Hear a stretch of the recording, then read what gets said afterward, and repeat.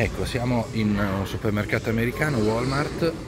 E ecco gli americani a casa cosa possono portarsi con 299 dollari, poco più di 260 euro comprese tasse.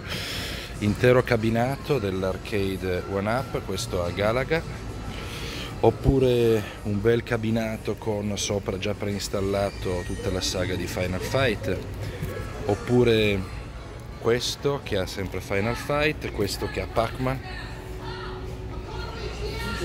E questo qua come vedete ha Mortal Kombat, voi lo portate a casa, lo assemblate, ha già all'interno un 17 LCD, tutto quanto incluso, dimensioni praticamente come i veri coin-op, qua c'è la versione con Rampage, eh, ovviamente già i giochi inclusi come c'è scritto, bellissimo. 299 invece qua in Italia ti ammazzano per delle puttanate che non sono neanche autorizzate ti fanno giocare con dei bootleg di merda oppure con dei giochi scaricati da internet.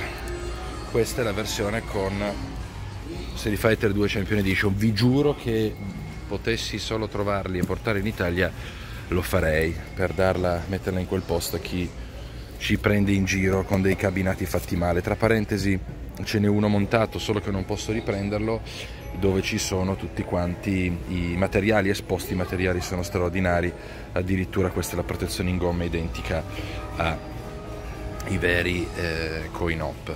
299 da Walmart. Bellissimo. E questo qua c'è Final Fight 1944 Ghost in Ghost